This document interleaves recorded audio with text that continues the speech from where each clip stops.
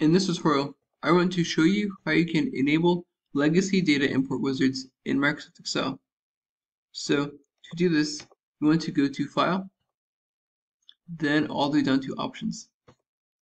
Now once you're here, you're going to want to click on Data, and you're going to see pretty quickly an option that says Show Legacy Data Import Wizards, and you want to check the boxes for the ones that you want to see in your Data tab.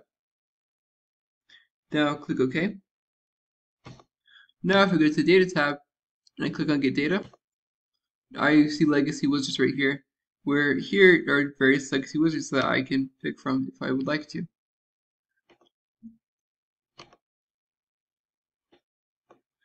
Now, to get rid of these, I can go to File, down Options again, over to Data. I can uncheck these boxes to get rid of them.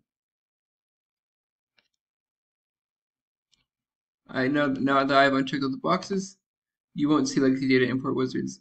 But if, if any of the boxes are checked, then you will see um, legacy data import wizards show up right here.